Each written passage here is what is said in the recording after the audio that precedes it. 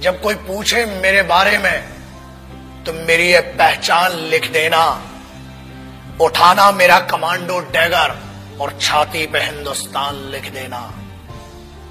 कोई पूछे पागल था वो कौन तो भगत सिंह और क्रांतिकारियों का चेला और इंकलाब का गुलाम लिख देना, और बचा हो जो जिस्म में लहू मेरे, निकालना उसे, फेंकना जमी पे और माँ तुझे सलाम चाणक्य ने बहुत हज़ारों साल पहले कह दिया था, कृते प्रतिकृतम कुरियात हिंसने प्रतिहिंसनम, तत्र दोषो नापतति, दुष्ट दुष्टम समाचरे।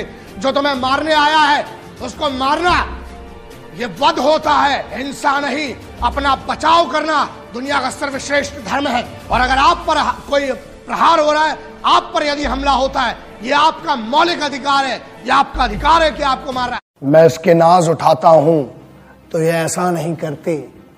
कि मिट्टी मेरे हाथों को मैला नहीं करती।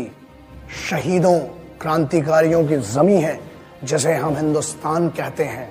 मागर बंजर भी हो जाए तो बुजदिल पैदा नहीं करती। उठो और इस जमी की इज़्ज़त का एहतराम करो।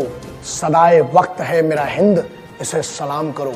ने कहा था कि हर वो इंसान जो सच बोलता है, उसको गुस्सा बहुत आता है, क्योंकि अक्सर मैंने झूठों को मुस्कुराते हुए देखा है। तो इसीलिए वही ना कि जितना भी लहू तो तन में बहा दिया वतन के वास्ते। एक भी कतरा न रहने दिया तन के वास्ते।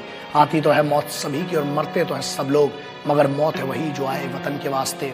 और न गिरजाघर जानता है, न गुरुद्वारा जानता है, न मस्जिद जानता है, न शिवाला जानता है, जो भूखा है बच्चा वो निवाला जानता है।